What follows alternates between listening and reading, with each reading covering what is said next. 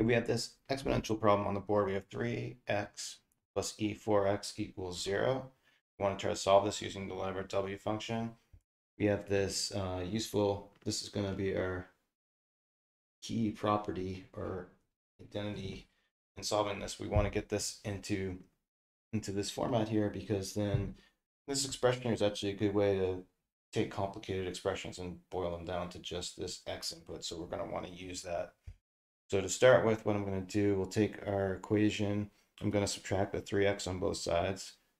So we'll end up with e4x equals minus 3x. And what we're trying to do to get into this part, we want we don't really want to be adding here. We want to be multiplying. So if I divide by an e to the 4x here, you're going to see we're going to get kind of closer to what we want. So this is going to give us this will cancel and just be a 1. So on the left side, we're going to have 1 equals minus 3x e to the minus 4x. And again, we'll see that we're getting kind of close to what we want here.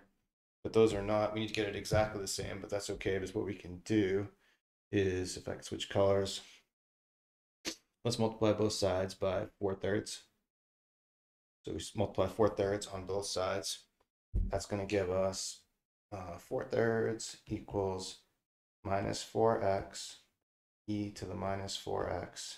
So we now have our identical coefficient and exponent situation exactly like what we want for the Lambert W. So we can now apply that on both sides. We'll have, so we'll have, we'll apply Lambert W here and here, but let me rewrite that so it's clearer. We're going to have Lambert W of 4 thirds equals Lambert W minus 4x e to the minus 4x. I need to write more carefully. It was just getting ugly. And then what that's going to do is on the right side, that's just going to spit out this minus 4x. So I'm going to simplify that here. We'll have, so we're going to have minus 4x on the left. I'm, I'm going to kind of change, switch sides just because. So we're going to have minus 4x equals Lambert W of 4 thirds. What I can do now is just divide a minus 4. Minus 4 on both sides. We're going to have x equals Lambert W 4 thirds over, we'll just put a negative up front, over 4. And that'll be one way to write our solution. What we want to know is that going to be a real solution? Are there other real solutions? So let's look at this. The input here on the Lambert W is 4 thirds, which is about 1.333.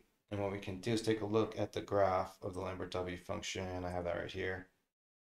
So we have this uh, this line here is actually at 4 thirds. So we can look at when does it intersect. And for any positive number, you see that there's only going to be one point of intersection. So this will tell us there's going to be only one real solution from the Lambert W function. It would be only if we were in this negative area that we'd have two solutions, or if we were out here in the negative, we would have um, only complex solutions.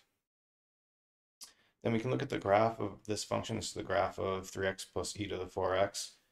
And we can see where it intersects 1. And we'll see that it intersects right at about minus 0 0.169.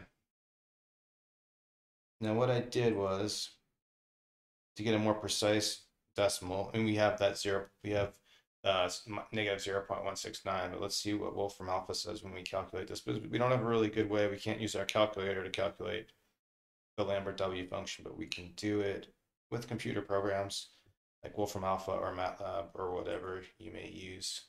So let's go. So we have this, we enter it, we enter our Lambert W as product log of 4 thirds over minus 4, and we get a more precise answer, minus 0 0.169327, a lot of decimal places. This will be one real solution.